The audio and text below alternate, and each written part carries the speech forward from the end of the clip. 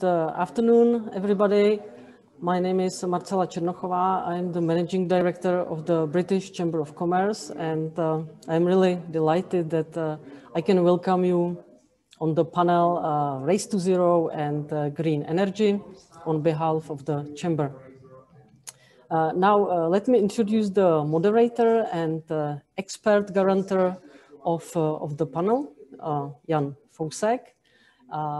Jan is uh, chairman of the supervisory board of the Czech Solar Association, CEO of the Association for Energy Storage, and uh, a member of the board of the Modern Energy Union.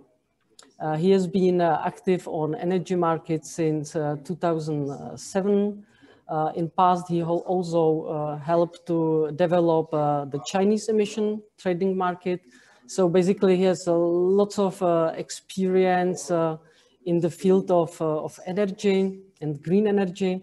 And therefore, I think uh, the panelists and uh, you as participants uh, will be in the, in the right hands. So Jan, many thanks for taking part in this panel. And the floor, or better to say, the screen is yours. So please. That was nicely said, Marcela. Thank you very much for this kind introduction. And for giving me the floor and the chance to moderate this uh, today's panel. And good afternoon to everyone, to our panelists and to our listeners. Let me warmly welcome you all on this discussion panel, which is called Race to Zero Emissions and Green Energy.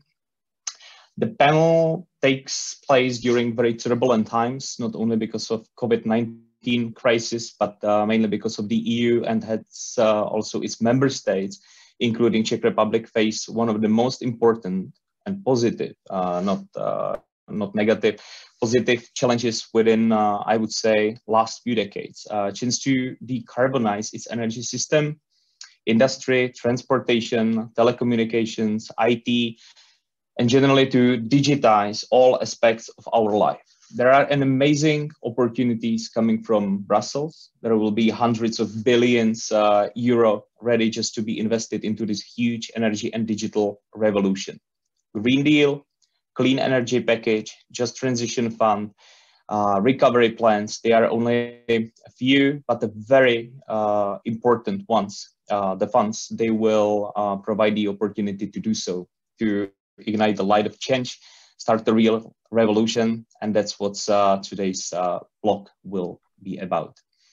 Our government is rather not too progressive in many aspects, especially not in energy and environmental issues. Um, I've heard that we've been witnesses today of uh, the lack of participation of a representative of uh, Ministry of Industry and Trade, and I would say it's just proof of the general approach of the, of the government towards this very important uh, and one of the presentations of today's panel will show it. One of the important, very important, I would say, most important aspects of our life to uh, to live in a cleaner and more efficient and sustainable uh, world.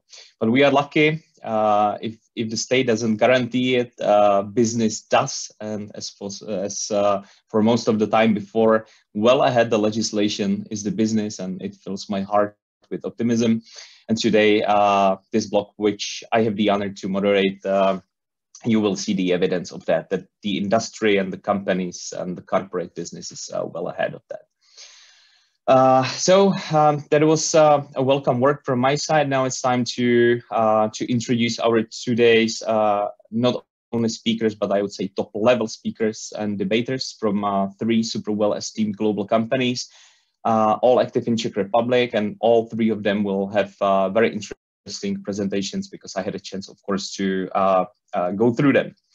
We agreed with the organizers that I will first introduce all three panelists and debaters, and then I will uh, give them the floor for their uh, um, you know, initiative uh, presentation, and then uh, the discussion will uh, follow. Our first speaker will be Mr. Michal Forýtek. Uh, he is a managing associate in the Prague office of law firm Kinstellar. He has a strong focus on energy, competition, public procurement law, has a substantial experience in energy industry related transactions, renewable energy projects and uh, energy trading uh, matters, as well as advising on national and European energy regulatory issues. Uh, by the way, he's uh, also one of the one of the co-authors of uh, the commentary to the Czech Energy Act issued uh, by the publisher CH by the way, I had a, a, chance to be a part of the preparation committee of uh, the Czech New Energy Act. So um, uh, it's good to it's good to have Michal Forýtek on board. Um, Michal will speak about European Green Deal and generally the plans of, uh, of the EU in decarbonization uh, and, and, green energy efforts. Uh, so uh, he will be a first speaker. Our second speaker uh, is a managing director of E.ON since 2017. His name is uh, Tomáš Bělohoubek. Um, I'm, I'm, glad to have him on board. Um, Tomáš itself is and himself is responsible for IT, digitization, and customer care. Before joining E.ON, he worked in uh, business development um, of the Czech branch of T-Systems, subsidiary of Deutsche Telekom. Then he worked uh, almost for 10 years at the consulting firm uh, Detecon International. And then he dealt with uh, project focus on strategy and, and uh, corporate finance, ICT, telecommunication uh, sectors, and not only in Germany, but also in, in Europe, Middle East, Asia, and, and Africa. So uh, all around the world. Um, so uh, Tomáš will let us know, will tell us more about uh, how E.ON contributes to the general sustainable, greener, and more effective digital world. It will be the second presentation. Uh, and our last presenter, last but definitely not least, will be uh, Mr. Richard Stonavský, Director Regulatory and External Affairs at Vodafone. Uh, Richard has been responsible for Vodafone's external relations, regulatory strategy uh, since 2011. In this role, he represents the company's interest in dealing with Czech and EU regulatory authorities and public institutions. God bless you for that.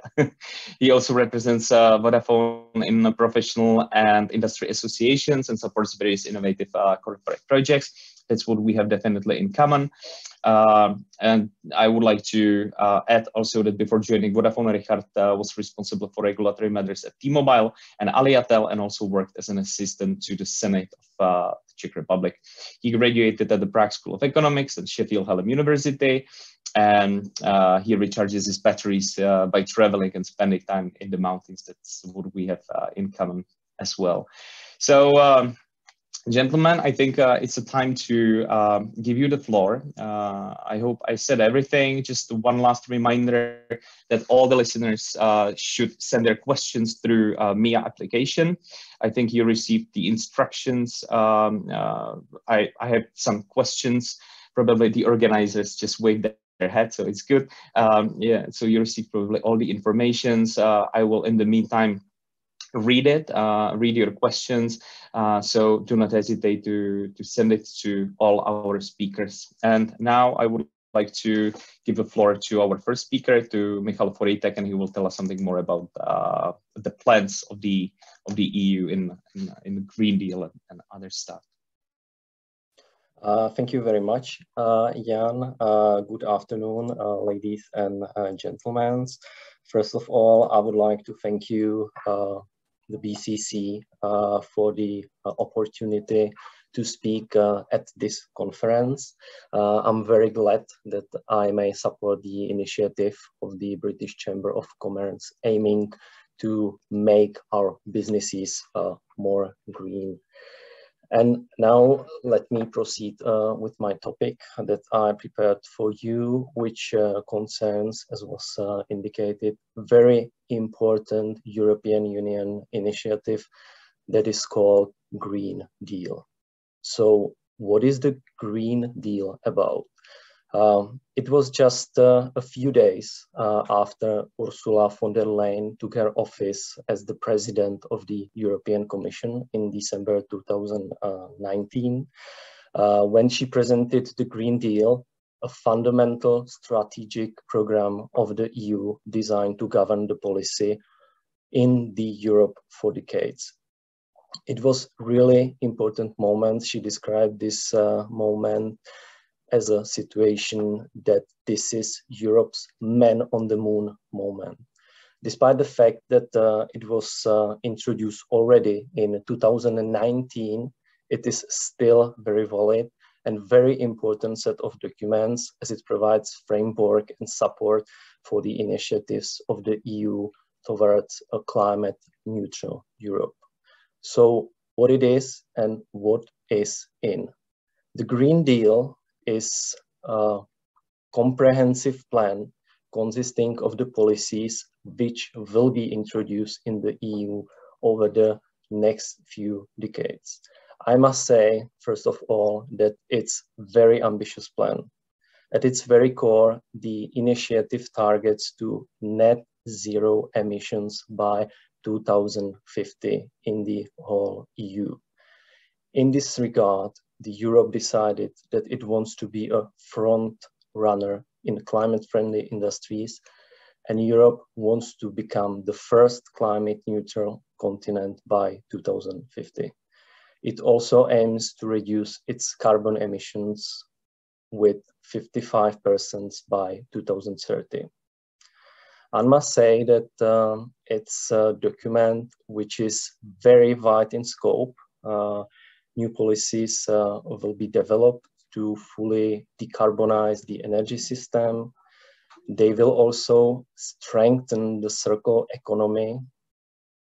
They will improve resource efficiency and promote sustainable land use and food systems. These policies will cover all sectors of the economy from transport to energy and from agriculture to construction. The Green Deal will push all sectors towards the more sustainable business models.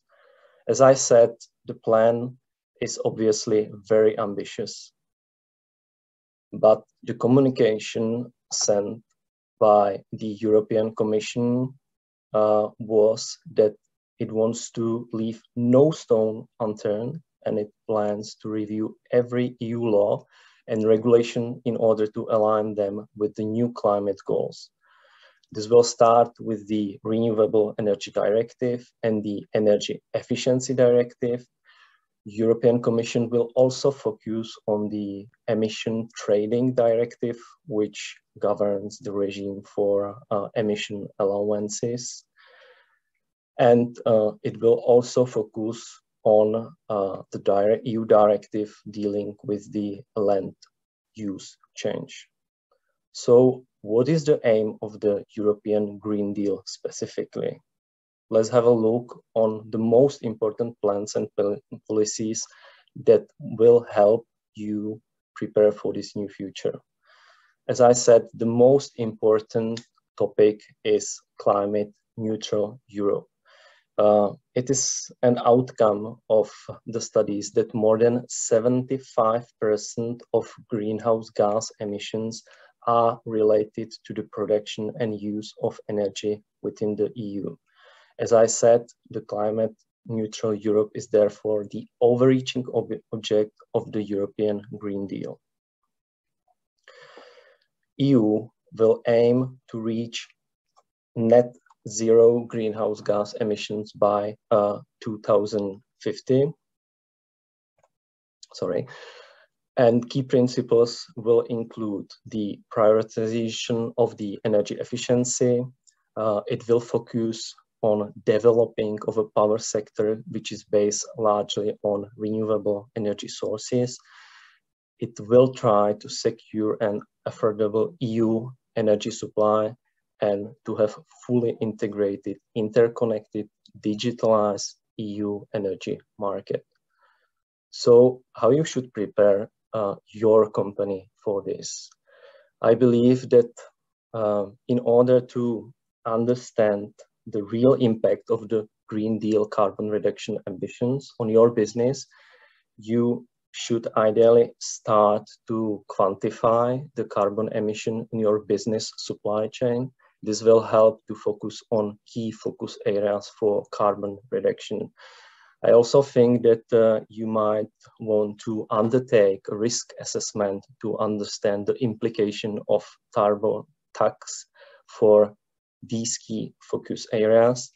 And also you should evaluate which climate reduction measures can help you to anticipate this risk and to reduce your operational cost.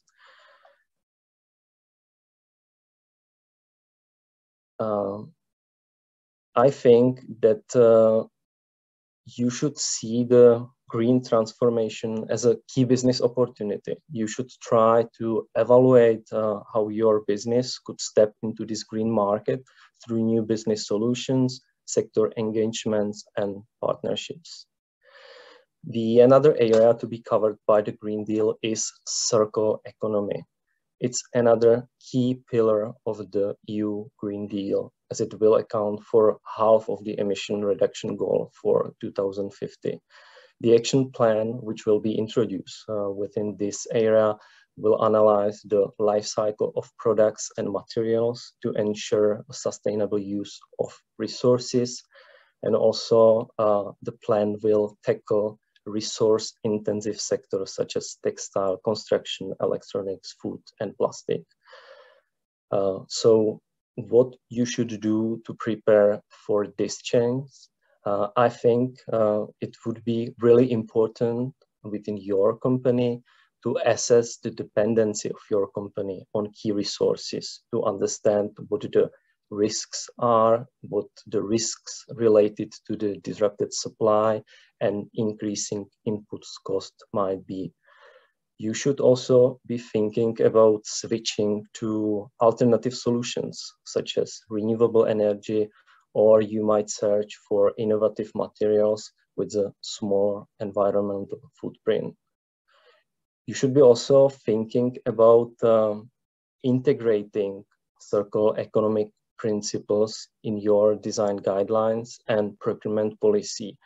You should try to think about reducing material and packaging use, also prolonging the life of your products how to turn products into service, and also how to maximize the use of recycled materials and design products so they can be reused, repaired, or remanufactured. The other areas to be covered are sustainable industry, building and renovation. Uh, the Green Deal will also focus on eliminating pollution and uh, agriculture and also the sustainable mobility will be covered. Uh, within the time provided, I won't go into much details with respect to these. I think uh, it's only important to again mention the sustainable mobility, uh, Green Deal, uh, and also uh, European Commission, uh, of course, will again focus on the transportation because uh, outcome of the studies is that at least 25% of greenhouse gas emission result from transportation methods. So again, there will be a focus on CO2 emissions from cars. Again, uh, there will be initiative which will support uh, electric vehicles. And there is an uh, objective saying that uh, at least 1 million public charging points need to be installed across Europe by 2025. In this connection, the European Commission communicated that every family in Europe needs to be able to drive their electric car without having to worry about the next charging station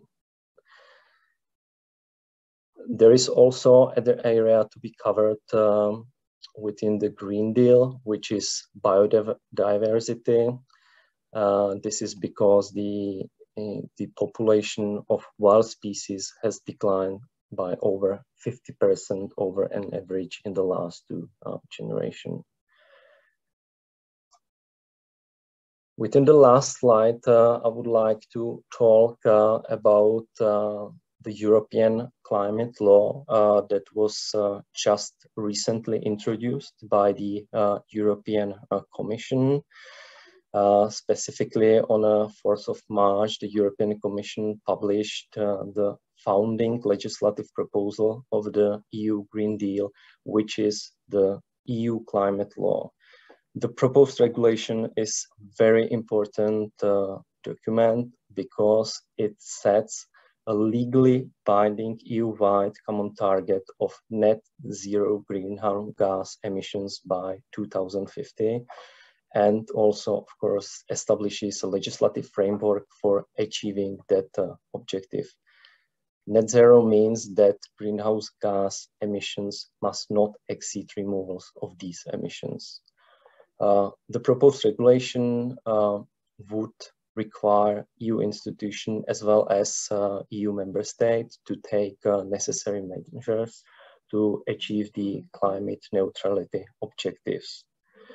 The proposed law also aims uh, to raise the ambition relating to the existing emission reduction targets. Currently, the EU has the target of reducing greenhouse gas emission by 20% by 2020 compared with 1990 levels and by 40% by 2030. The Commission amended this uh, original proposal and now it uh, targets to uh, reduce the emission by at least 55% by 2030. The law also addresses the necessary steps to get to the 2050 target for instance, the Commission will be empowered to issue recommendations to member states whose actions are inconsistent with the climate neutrality objective and member states will be obliged to take due account of these recommendations or to explain the reasoning if they'll fail to do so the proposed EU climate law require the Commission to, to propose revisions of key climate and uh, energy legislation in line with the revised 2030 target by June uh, 2021.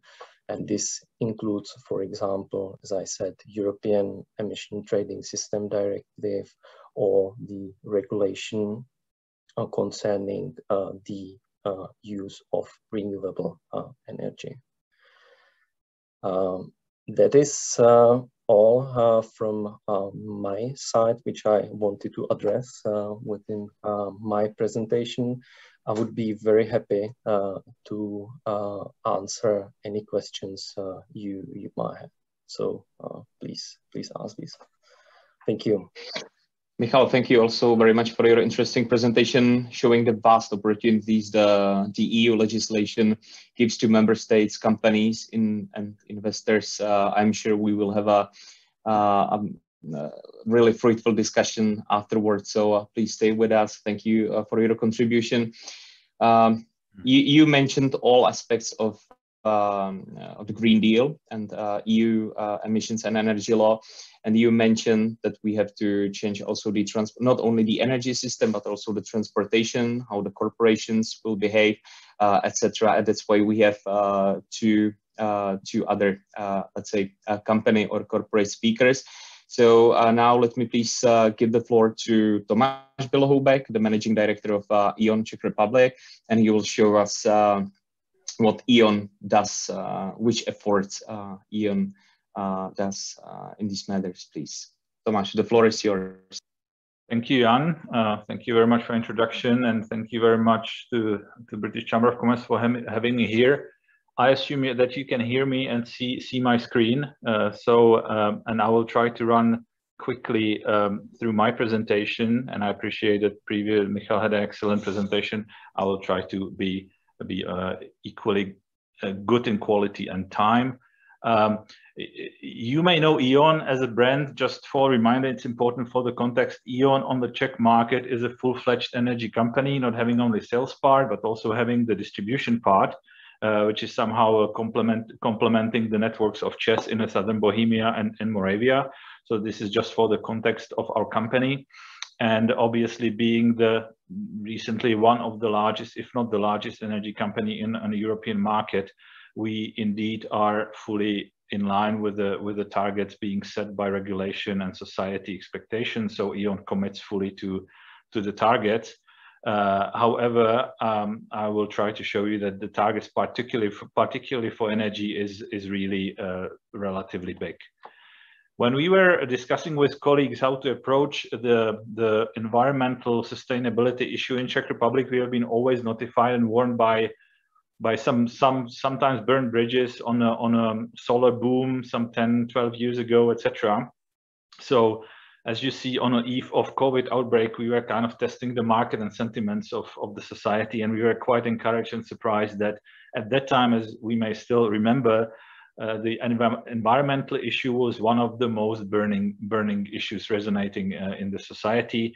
And I do sincerely hope that this will be back soon with us, uh, that uh, the other COVID uh, will be soon over, and and I really cross fingers for this this one so we can tackle the uh, the the other other burning things. So you see that the sentiment of, of Czech society and I know that we are mostly Czechs here, has been always hesitant, but it was really, uh, really surprised for us that people are resonating much better and was a good start for, for tackling it more openly and, uh, and hoping that we will not be always associated with some wrong regulations and incentives uh, being given in the past. Um, coming back to the, to, the, to the challenge we have been facing. Uh, this slide is not nice, but I still plugged it in on a short notice. Um, usually what you do and you should do, you should measure your carbon footprint. That's the only proxy we are all having. It makes us comparable, it makes us somehow tangible, etc. And all the targets are anyway translated in a carbon neutrality by 2030 or 2050. Um, it is might be important for you that uh, E.ON only on the Czech Republic counted together distribution and we are distributing not only electricity but also gas and the sales parts and selling the, our goods to our clients we are accounting roughly for 8 million um, uh, tons of the CO2 per year. And uh, if you look at the comparable bank with a similar number of employees and probably similar number of clients, uh, bank has a 10 to 12,000 tons. So um, let's say two management sitting, um, uh, let's say on, on a, on, a, completely different challenge. So this is just maybe for you to take it with you that uh, bringing energy sector to carbon neutrality is a super tough call. And uh, I would just park it here because I actually none, no one in the world could then answer you how to make energy sector sustainable in that volume and expected growing demand for the electricity as a key energy source uh, in the future. But uh, this is a challenge we are facing. Uh, we are indeed happy that there is a basically not only only demand uh, and striving from from society our customers for something new and sustainable.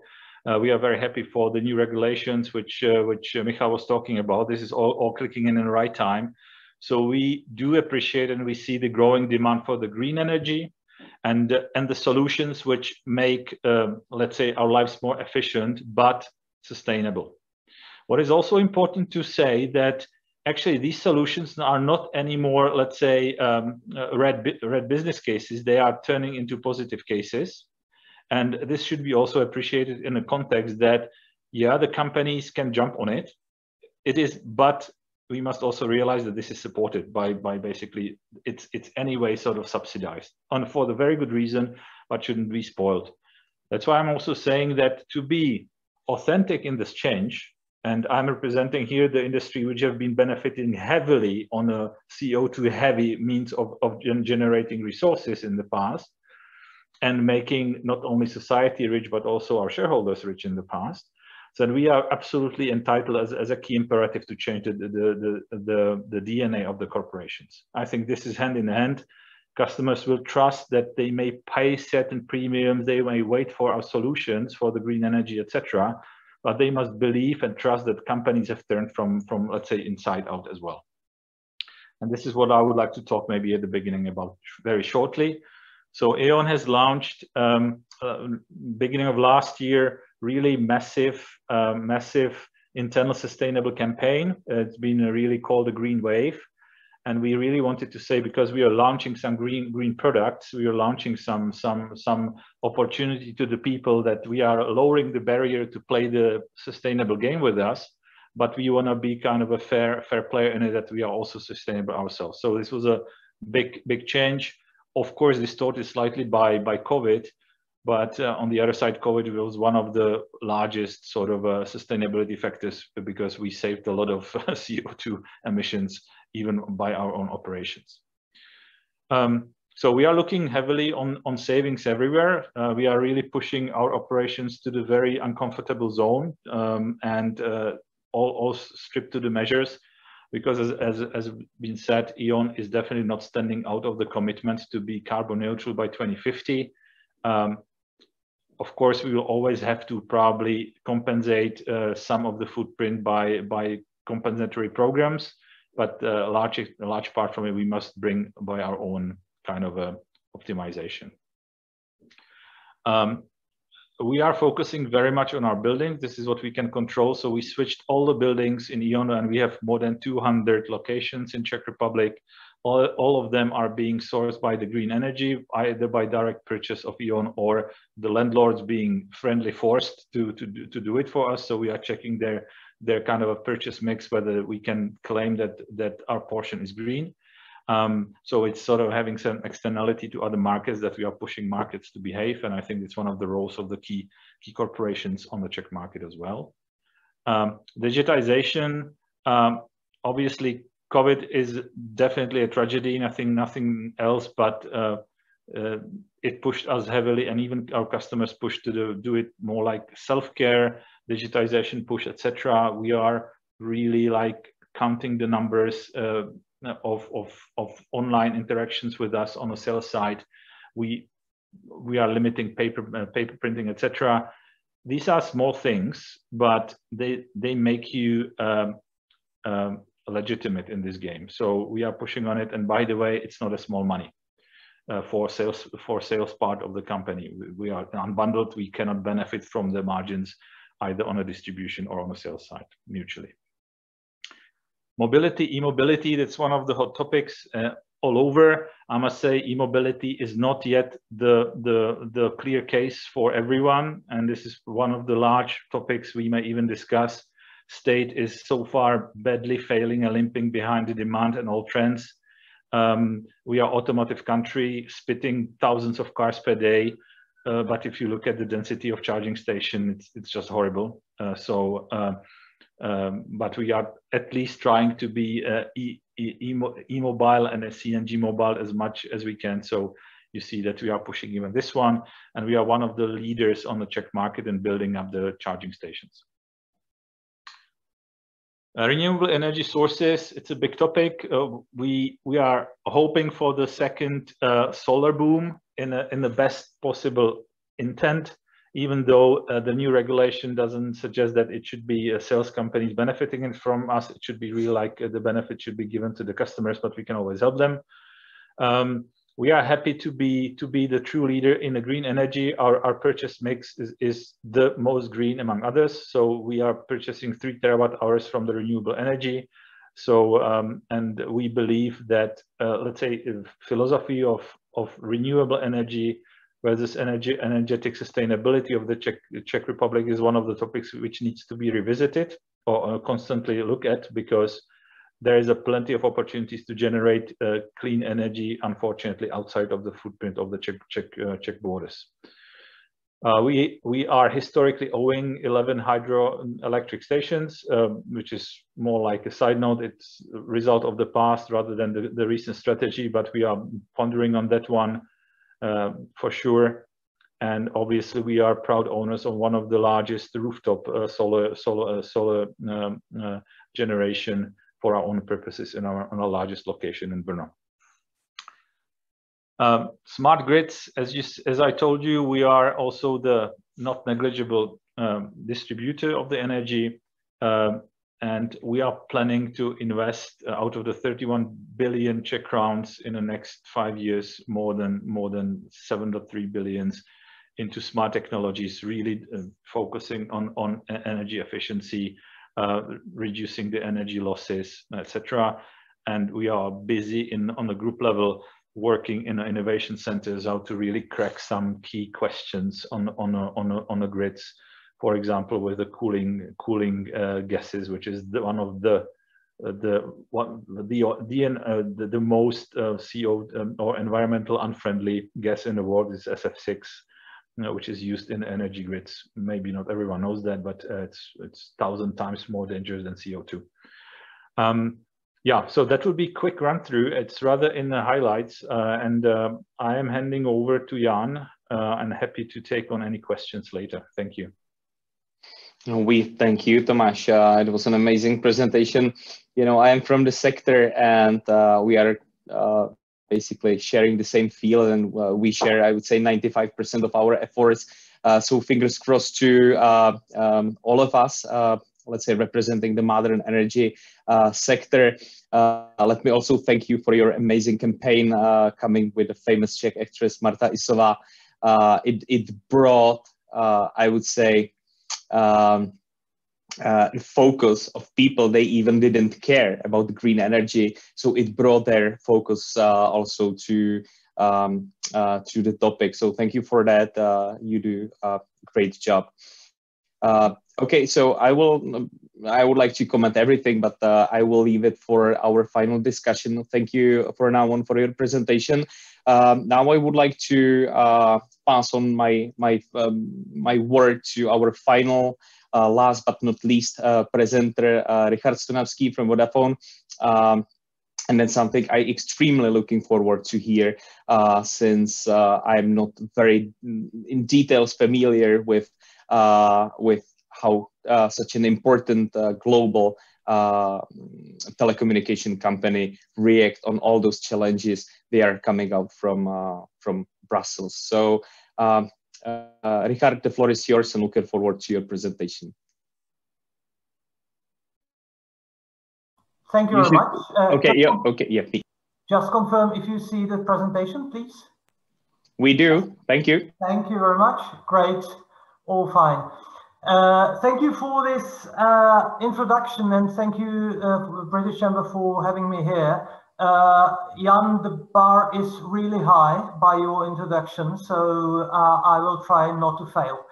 Uh, Vodafone, uh, I hope I don't need to introduce, but just uh, for the start, we are a telecom operator, telecom provider, uh, active in all continents, which by the except of Antarctic, uh, which, uh, by the way, faces a huge challenge to sustainability and green topics.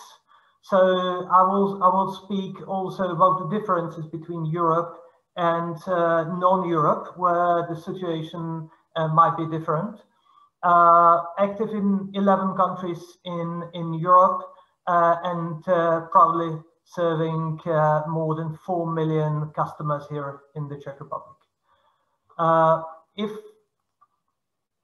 I go to my first slide, I really have to start uh, by this message. Uh, people ask us, what's our sustainability strategy? What's our CSR, maybe the obsolete or the old word, CSR strategy? And we say, actually, we do not have a separate CSR strategy.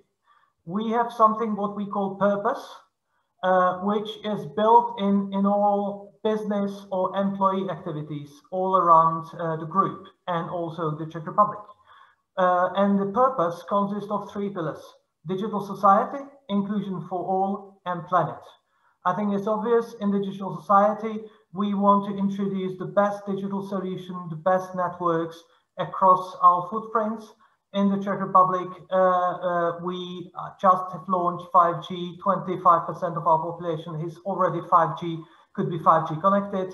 Uh, one and a half million, one gigabit uh, per second to homes and, and offices. Inclusion for all, again, it's not only our foundation activity, all probably and hopefully have Záchranka on your mobile, but also being inclusive uh, in the in the sense of providing the services and being able to provide the services to everyone, which mainly in the time of COVID is crucial. And last but not least, and this is what uh, we will be discussing uh, now, is the planet. We uh, we are we are we are not a power plant, so we do not have the the one chimney or one power plant which would be visible to everyone, but we have thousands and thousands of small sites and we have the cables and exchanges which consume energy. And uh, we, uh, we are aware and we, we, we, we want to be focused on the fact that uh, we have a role in the society uh, of pushing uh, the topics of green uh, pushing the topics of being sustainable, and we are doing this. If I go to the next slide, here actually this is our story. in the Czech Republic, since 2011, we have been using the green energy. we have been really proud about it. we have we have it printed on every invoice, also on the digital invoices. Uh, and uh, we want to keep this trend, even if we uh, uh have acquired other companies and if uh, even uh, that we actually are growing. if I compare eight years ago and now, the amount of data our network has delivered uh, is 30 times bigger. Uh, if I compare the amount of spectrum frequencies in our mobile network, we deploy twice as much spectrum in our networks now compared to eight years ago. However, uh, our uh, emission remains the same and our energy consumption increased roughly 30-35%.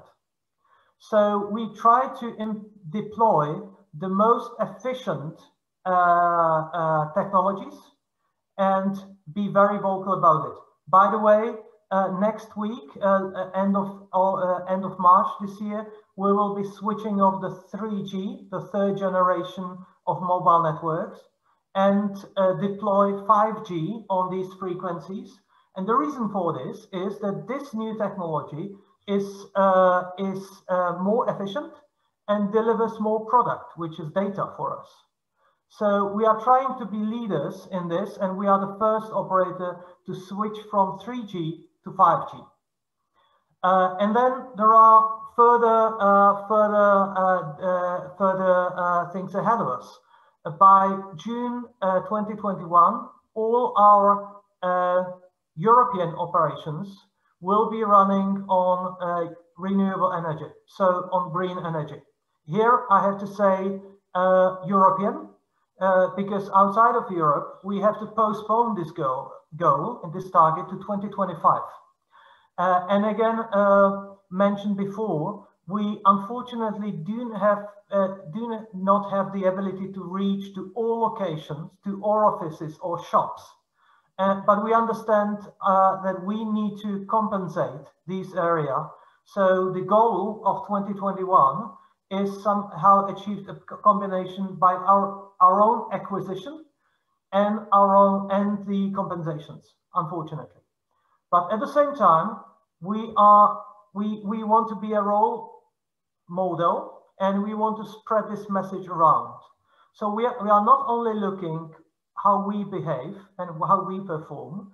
Uh, we want to check with our vendors, with our, with our suppliers, how they are uh, performing.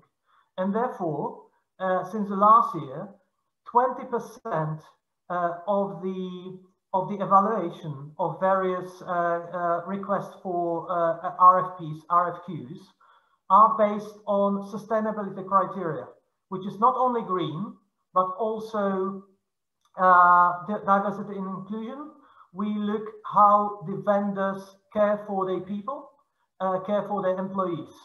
And this all steps into our decisions from whom we will buy stuff. And also, uh, we try to be very active towards our customers. Uh, and I will speak uh, about this uh, a bit later. we provide solutions which help the customers to not only save money, but also to reduce their footprint. Uh, and if I look at our, uh, uh, our carbon uh, emission, carbon gas emission, in the last year, uh, we the, it was roughly 15,000 tons of CO2, uh, whereas with our services, and it's mainly IoT, IoT, we helped our customers to, to, to, to save and reduce by 14,000 tons. So we think we are roughly there to be neutral uh, with counting in the impact of our services. And also, we will be speaking about e-waste. Uh, everyone at home probably has a, a old mobile phone. And this is something which is a very, uh, very good source of, uh, of further resources for recycling. We are pushing our customers and, and asking them to bring their, uh, their mobile phones back because we can reuse and recycle them. And by the way, uh, we, uh, for every phone, for every, uh, every gadget, the customer brings to our, our store, Vodafone company gives money to the Vodafone Foundation. So there is, there is a there is a win-win situation of financing the uh, other activities of Vodafone Foundation. Uh, coming back to this slide, uh, uh 2030 is uh, again another important uh, milestone for us in the future. we will we we want to be we want all carbon emission element to have eliminated from our activities and the electricity purchase and, and what we use. And looking at uh, the, the, the, final uh, goal, we decided last year uh, to, uh, to fast forward by 10 years, and we committed to get fully neutral uh, by 2040. Uh, we are really proud of this. It's a strong commitment, but we are convinced we, we can get there just summarizing what uh, what, I, what I what I said said earlier, uh, we we really want to help others and become a part of it of a, of a, of a chain rather be individual in the process. Uh, so we are looking both to our to our vendors and to our to our customers, and we will we might be speaking later about the recent European Green Digital Coalition uh, signed last week, uh, and we we happen to be the proud founding member of this of this initiative. Uh, that would be all from me. Happy to take any questions. Richard, thank you so much for this amazing presentation. It's uh, great to hear that also technological companies uh, committed to such an amazing um, uh, commitment. Um, and also to make it shorter by 10 years from 2050 it's again what I mentioned in my uh, introduction um, that usually the companies are well ahead the legislation. We see it in, uh, in for example, in my sectors, in, in energy storage, in the renewable energy business. Uh, the, the, the, business sector is always uh, well ahead. So, gentlemen, thank you very much for the presentation, sticking with times which we agreed on before with the organizers. I think we have like three minutes left, but we agreed uh, with the organizers that uh, we should continue. Uh, uh I checked the MIA application, uh, which is again uh, a reminder for you who are listening to our very fruitful discussion um, that you can send the links through a MIA presentation. I checked it 20 seconds ago and I haven't seen anything. So um, we should maybe uh, gentlemen uh, discuss between each other. Uh, since you, Richard, had a word as a as a last one, uh, I would uh, dare to start with you, if you don't mind. You mentioned the Green Digital Coalition. Uh, I understand it's some kind of coalition on the on the Europe on the European level, um, and that Vodafone is one of the founding members. What are the main goals of this coalition, and who are there with you? Main communication companies like Vodafone hope I'm still unmute. Yes, that's the case. Uh, so, uh, uh, yes, you're right. Uh, it was, I think, last Friday when uh, we introduced, including our group CEO, uh, Nick Read, that we became the founding member of the of the of the coalition of the Green Digital Coalition. This is a joint initiative of the European Commission and the major digital telecommunication companies. And again, uh, we see our crucial role in the process of uh, becoming neutral in uh, fulfilling the, the green targets, green, green, uh, green goals. Uh, uh, and the reason is that we, in our, in our core business is the digitalization. And I think the examples of, of e-billing or a digital approach to invoicing is something which is a small step, but is a, is a very important step. And uh, again, uh, we think that this we should be part of this initiative because we are enabling this uh, actually. Uh, and again, uh, I started with our purpose. And uh, I remember uh, our previous uh, previous CEO, Mr. Vittorio Colao, when we spoke about other parts of the of the of the purpose, which is the inclusion. And he said, I do not need a business case for inclusion. It's simply the right thing. And very similarly, with a company like Vodafone in, a, in, a, in 2021, I think we believe that uh, business success should not come, come at the cost of the environment. Uh, and this is something which uh, we are proud of. The customer are starting very heavily to ask us for, and not only customers, the messages from the from the from the investors uh, is uh, the messages are very clear. What are you doing, uh, not only in the uh, in the P, in your PNL, but also in your sustainability? And uh, the, the, the, the, the, the amount of questions and the share of the questions we are receiving shows us that we began a very important journey and it's the right journey. Great to hear that. And you also mentioned uh, the e-waste. Uh, what added value do your customers, for example, expect from that? I, I can see how uh, how hard it is for some citizens to to deal with the real waste. Uh, so I'm wondering uh, how this can work, and I believe it can. But uh, how do you want to achieve that? Yeah, and and I have to say, and frankly, this is a untapped territory. It, we've been doing something in it, but there is still a lot of uh, things and work to be done. Uh, the problem with mobile phones and, or the e-waste we are looking for is it's very small. If you have an old TV set uh, or, uh, or a, a larger uh, gadget, you simply take it and recycle it. But with mobile phones, even, even, even tablets or, or notebooks, you simply put it into, into a shelf and it may lay there for years. And we want to change this. Uh, therefore, we are considering a new program, new, new agenda, which would motivate people to bring the e-waste back, uh, either uh, something which is totally unusable uh, for recycling or reusing, or something which may work for other customers uh, for other use, uh, less demanding customers and so on. So again, uh, we, we, we aim to be recycling 100% by 2025. We are not yet there, but we have, we have strategies how to get there.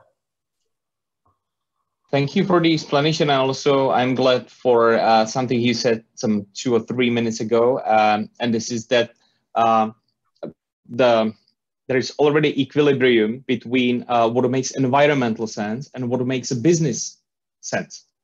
Uh, it was it has not always been like that, and I'm glad that we just came to that stage. Uh, like you see the, the, the price of technology is coming down, people really being keen on buying it, on on on you know taking such products, and we can see it on on E.ON. Uh, Tomáš, um, what can you say to that? Uh, do you agree with me that uh, most of the cases, I would say most of the steps you do, which you showed us uh, on behalf of E.ON, already makes uh, make an economic economic sense, or or at least we have some kind of subsidies they they can help overcoming it, except of I would say e-mobility yet. Uh, look, we are corporations, so uh, our DNA must be profit, uh, unfortunately, um, uh, and growth, right? Um, if you're missing something, you are either either growing, you are you are not profitable, or you are dying because you, your your business model has, has evaporated. So, unfortunately, whatever we do, we have to build up the business case behind it. Nonetheless, uh, we are absolutely open to make coalition and in, in investing together in something which needs break even quickly. And I'm loudly thinking really like what what uh, uh, charging infrastructure is, is something which all of us somehow feel I have a hybrid car, I can charge it only in, in my garage. I can't charge it anywhere else conveniently. If you travel around the world, and here Czech Republic really sits on its legacy, like don't move, uh, uh, something will happen. We won't. We won't need to do it. This is somehow Czech mentality in it. And and uh, sorry for being a bit harsh, Because if you just go a couple of kilometers um, west, there is no discussion about it. The, the, the, business case is very similar, uh, but they are doing something, right? And so uh, I'm sure that we would be even even happy to to make coalitions with something. Uh, uh, obviously, I know that uh, where where we need, for example, charging. Uh, and sorry to be just in details because this is something you mentioned, and I think this is something which everyone thinks it's about. Good, it's good. It's good. Uh, where do you need e-mobility? You, you, don't need it on the highways so much. You need to uh, penetrate it in the cities where the benefit is the highest one. Noise, uh, dust, um, pollutions, etc. Smallest cars are so far the most efficient e-cars. Smallest cars are city cars, right?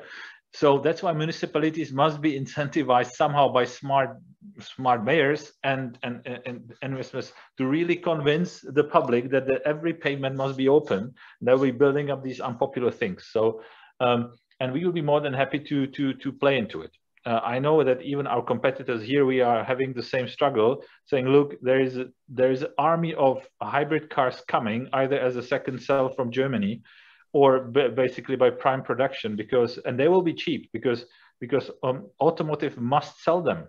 They have to fulfill the CO2 target, so they must sell them. They must prove that they sold them. Yeah, so they will be cheap very quickly. But we will be then looking at ourselves saying, thanks God, I have a hybrid that I don't have to use e uh, uh, electric uh, motor in it. It's, it's, crazy. And if I looked actually not a long time ago on on on a, on a on a balance of my hybrid car, it is still predominantly let's say fusel fusel usage because I can't charge it. So this is one of the really like cases where it shouts for something. I don't know what, but uh, this is this is this is horrible. Otherwise, yeah, the all the things we are doing, we hope they are contributing to it. Um, uh, and I'm openly saying in various forums, eh, we are still scratching the surface, right? Mm. But there's a there's a there's a light at the end of the tunnel. We really, as corporations, we we have to stick to that. So 2050, game over. We have to be neutral. So um, I'm not worried about it. We are at the beginning, and we somehow looking at our, where we are. It's new for us, for everyone. I I I, I dare to say. Um, so we will only and only accelerate our, our knowledge and smartness and transformations where every transformative uh, step will be sustainable. So I believe today we talk about paper bills. Um, five years down the road, this will be funny joke, but it's a beginning. And I agree here with my with my uh, previous speaker, with Richard, that this is the right step because it's a beginning. Yeah. And, and Very complex. Frankly, okay uh, I wouldn't be even worried about the politicians and about the administration because uh, uh, the path will very probably be businesses, uh, customers, uh, or society, and then the, the public administration or politicians must react. It will be slow, it will take some years, but I'm convinced we'll get there. Uh, I'm, yes, I have to say digitalization the real, really impactful digitalization is not always on the agenda of the of the uh, of uh, of the I would say rather public administration, uh, but we'll get there because there will be demand or the external factors, and I still hope there will be a, a, a lot of positive from the time we are now experiencing. Uh, uh, the, the the external factors will change this. I fully agree with that, but there is a there is a lot of issues we have to solve, and uh, these are not only politicians who can help us with that. Uh, but uh, maybe one one comment to it because I think sure, it's relevant. Of course. And I think this, this is exact, exactly the platform we can use because uh, I mean, with all respect, politicians have their daily pains and they are dealing recently with something completely different. We have to be bold enough and courageous enough to educate them because if we would wait only to the to the to the bingo moment now we need it with a with a technology cycle how to install it. For example in this relatively demanding infrastructure for charging then we are 15 years um, from the from the target. Uh, whilst if we would raise the, the attention and pilots now we may speed up the process. And it's really this awareness and it's actually political hard sell by the way in czech, in czech republic. So no, no, no surprise. No one wants to to to to ponder on that in election year, and election year is every second year, so it's difficult. But uh, it it is our responsibility to as as a big corporation because by the way we are earning big money here on the Czech market, and and and, and we are sending it somewhere else. So we should be at least this this bold to say, guys, this is the right step, and re really like this is the way how you should handle that. And not mm. hiding. Look, there is a profit behind it for us, but also for society. So it's a win-win. Yeah you share your wealth uh, on the Czech market, and I agree with that. You you you a little bit support of uh, or uh, you a lot support uh, the trend energy and and uh, decarbonizational. Um, uh, I would say um, you know the, the, the whole situation, the whole progress. yes, that, that's what I wanted to say. The whole progress. You have to lead it. You, you and your competitors, as well as um, Vodafone and its competitors on, on the telecommunication markets. What I wanted to say is that um, the elections will be soon and there are politicians, uh, they will hopefully um, take over uh, the power. Uh, they are there to help us now already. I have to mention, for example, Mr. Marian Jurečka, who proposed some uh, amendments to, uh, uh, you know, clean energy, who proposed, for example, the amendment to energy storage, who fights for energy communities, for, you know, better conditions for charging stations, and also other parties are there. So let's hope it will change as well. at least it it will help you a little bit, you uh, business corporations, to uh, with with all your efforts. They are already amazing, and thank you for that. Um, uh, uh, let's come back to Michal Forýtek. Uh, Michal, you you mentioned that EU wants to ensure competitiveness in, on of its own products uh, versus products produced in other countries outside of the EU. Uh, but these countries do not have such an ambitious targets for reduce, uh, for reducing greenhouse gas emissions. Uh, what tools do we have? Uh, some tax burdens? is it only CO2, uh, EU ETS uh, CO2 trading, which I have been uh, personally very active in for like 10 years. Uh, what about, I mean, we heard also recently about uh, European Commission's idea to introduce the so-called border carbon tax. What do you think about it? What, what tools do we have? Yes, it's a, it's a very good question. And uh, you what you said that's that's uh, what the European Commission is thinking about. It's called the the carbon border adjustment uh, mechanism. The, the Commission, of course, identified this risk of carbon leakage, uh, i.e. being the situation where the products imported uh, into the EU are produced uh, in a in a jurisdictions with the less uh, ambition emissions uh, targets. So of course, in order to ensure the competitiveness uh, uh, between the these products and products produced uh, within the EU, EU states, we have to implement some mechanism that will somehow protect our products and this is called the carbon border adjustment mechanism. Uh, while the, the exact details, uh, how the, the, uh, the European Commission will deal with this aspect uh, are not known at this stage. Uh, I believe that uh, it will be some kind of tax imposed on the on the products imported into the EU or there is there are consideration that these companies that uh, operates outside the EU will be obliged to buy uh, uh, emission reduction units uh, within the EU ETS system. So um, that's that's how the European Commission intends to to respond to this to this risk. Thank you for the explanation. I'm very much in favor all those steps which European uh, Commission does, and I uh, wish all of us uh, the best in all those efforts.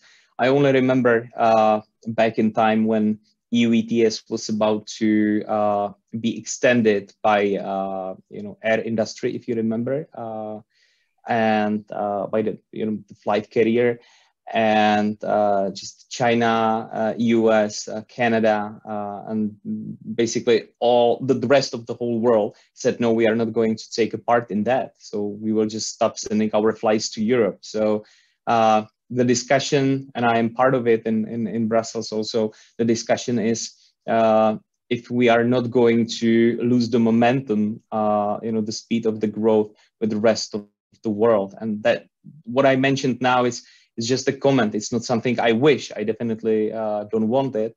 Uh, but that's just the risk we might face that uh, the rest of the world that's what um, that's what the um, you know supporters of uh, fossil fuels and and you know burning all those uh, lignite and everything they wish that uh, the European Union will just bang into the wall with those green efforts. do you think we will manage, or the European Union will manage? Yeah, I mean, also um, the European Commission and EU is is aware of this uh, of these aspects of this initiative, and that's uh, I think why it is backed up by the massive investment programs. Yeah, there is a there is a intended that I think around one trillion euro will be available for the investments in the public and, and private sectors. So uh, I think that's that's how the EU uh, wants to address this and how to support it and how to respond to this situation when we will be trying to to achieve uh, some uh, some goals in this area while the rest of the the world uh, will be uh, will be doing basically nothing. As my last remark, at least from my point of view and from my position, I would like to propose to all of us, let's uh, let's do our best to support Czech Republic to uh, consume all those amazing funds. They are there. They are available. They are on the table. They are already there. They they do exist already. It's a modernization fund. It's a recovery plan. It's a just transition fund. We have a money for that.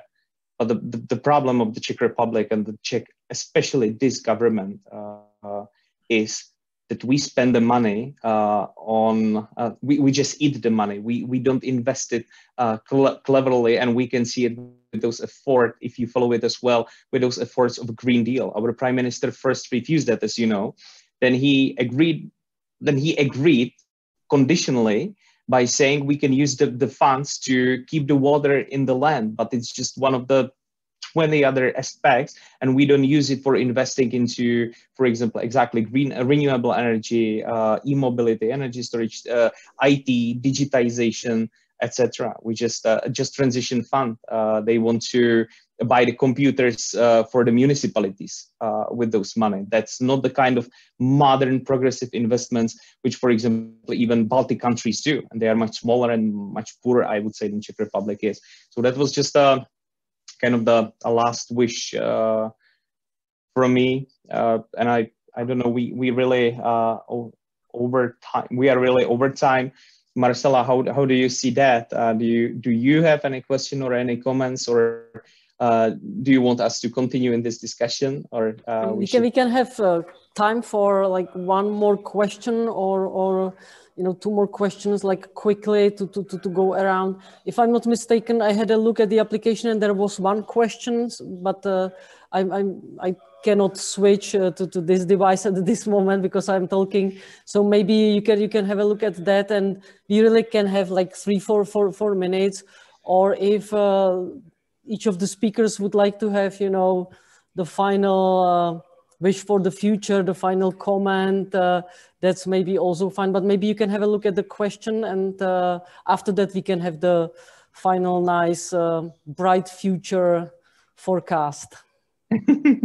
Thank you, Marcela, for, for reminding me the, the MIA application. I checked it a few minutes ago and there was nothing. So uh, good to, to click on F5 and to refresh it.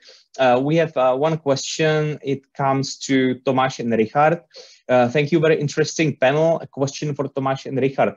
Have you heard of Chapter Zero, the Directors Climate Forum?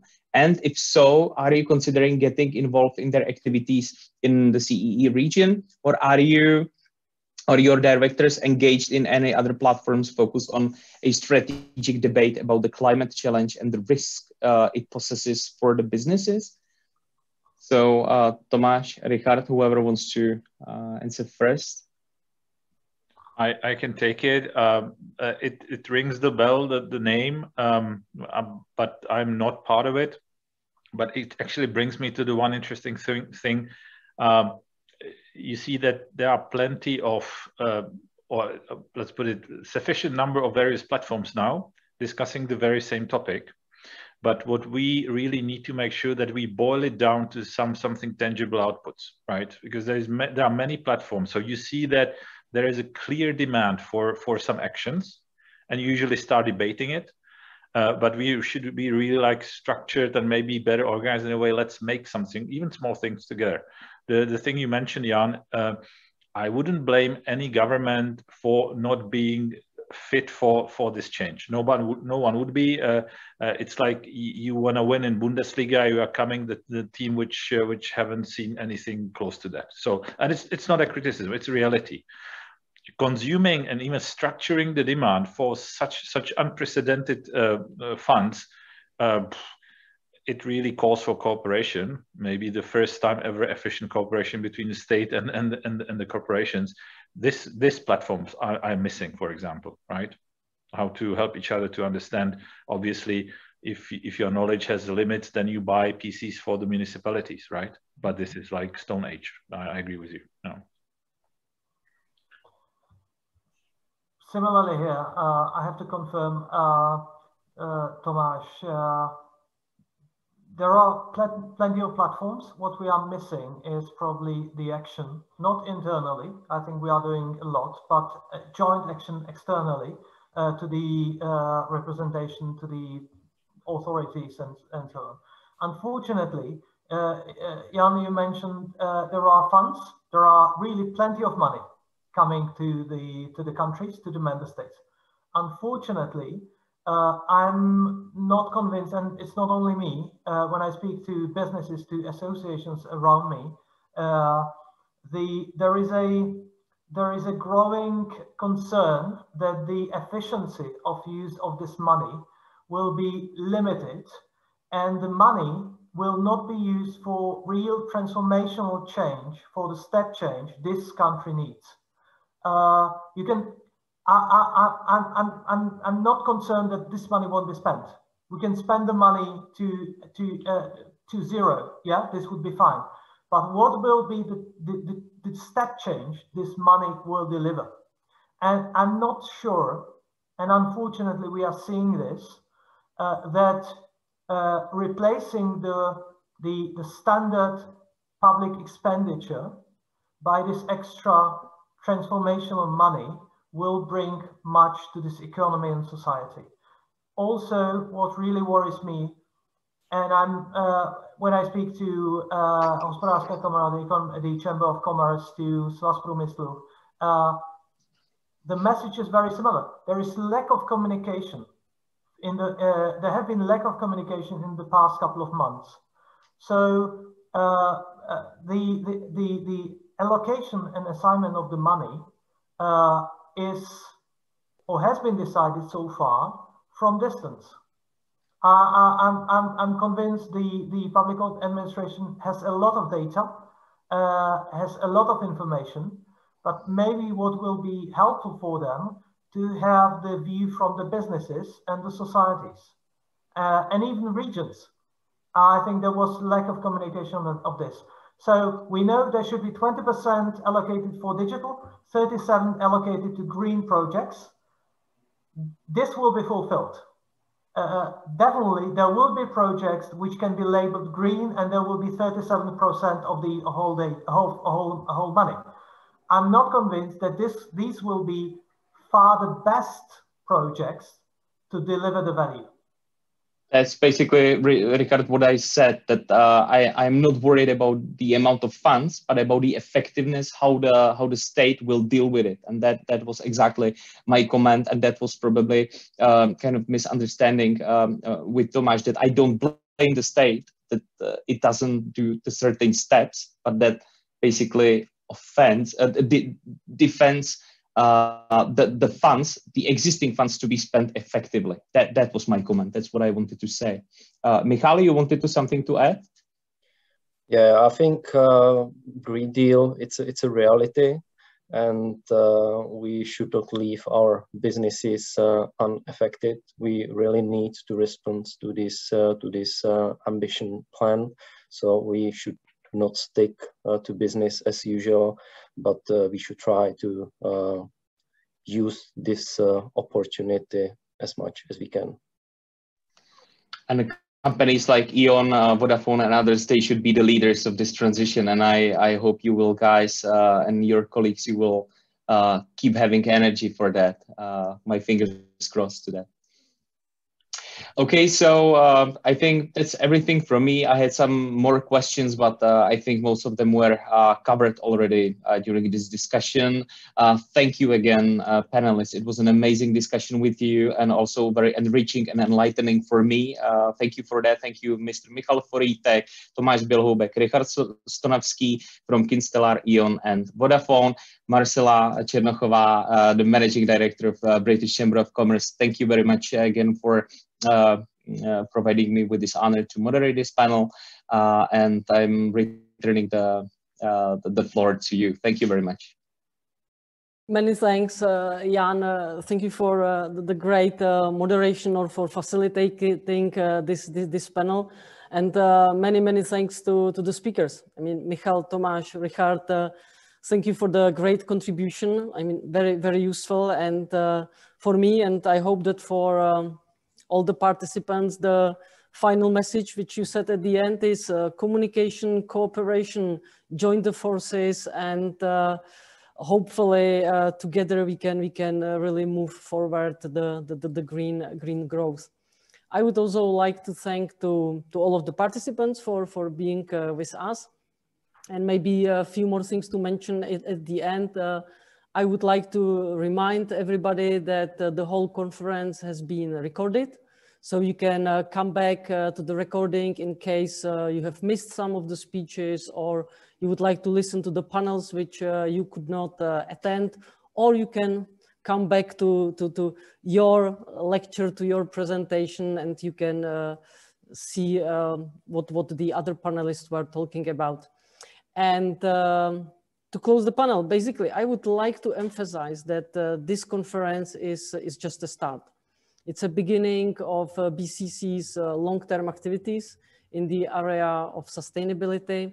And uh, we plan a, no a number of uh, events which will focus on individual topics and that uh, we hope that uh, some of the topics actually came out of the discussions which we were talking through today. So basically the chamber, and now I am uh, following what you said, uh, joining the forces. We really want to create a platform for the community to, to exchange and share the experience and know-how. And basically everybody, including you and uh, the participants are welcome uh, to, to be involved and, uh, and participate. So please, if you are interested in and you want to get involved, do not hesitate to contact me directly or anybody from the chamber and uh, get, uh, get in touch. So once again, many, many thanks. Uh, keep healthy and safe. And uh, I really hope that one day, which is hopefully not far away, uh, we will be able to meet face to face soon. So many thanks. have a nice evening and as I said, keep safe. Thank you. Bye bye. Thank you, everyone. Very much. Um, Thank you. Thank, Thank you, you so much. Bye bye.